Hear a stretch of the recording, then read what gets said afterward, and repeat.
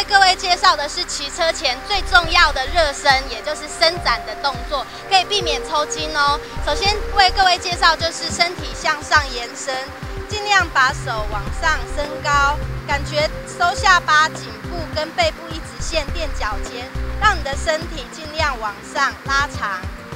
这是一个脊柱的伸展动作，因为骑车的时候常常会弓着背，所以说做这个伸展动作的话，可以把你的脊柱稍微放松拉开。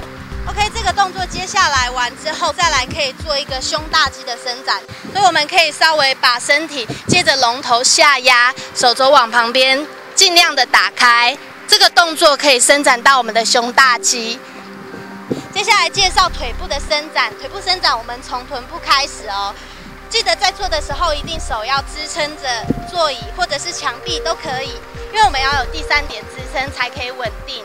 好像就是坐椅子一样，一只脚翘高，然后坐下，记得扶着东西稳定。想象好像后面就有一个太空椅一样，这个动作可以伸展到我们的臀大肌。记得要做完的时候一定要换脚，做双脚，两边都要做到哦。臀大肌接下来最重要就是最常抽筋的股二头肌。股二头肌我们怎么做呢？可以利用地面，脚一前一后跨一大步，然后坐下，后脚弯曲，前脚打直，翘脚尖，手摸着脚尖，一手可以支撑着车子，也可以支撑着任何物品都行，只要是稳定不会倒的。这个动作可以伸展到我们的腿后腱肌群，避免抽筋。接下来还有一个很重要、最常常抽筋的小腿的肌群——腓肠肌哦。腓肠肌可以利用车后轮的地方，用脚跟靠近地面，然后身体拉直。这时候把车扶稳，手可以叉腰，腹部收缩，肩膀放下，脊椎自然打直。这动作可以伸展到小腿，可以看到吗？我们的小腿，小腿会特别的紧绷。这个时候就是有把腓肠肌拉长的作用。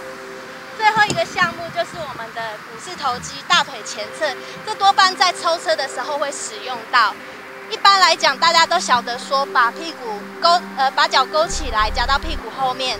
但是这边要跟各位提醒，上半身必须挺胸收腹，并且把膝盖弯曲，然后后面的屁股夹臀。这个动作才是有效的伸展到前面的股四头肌，也就是大腿前侧。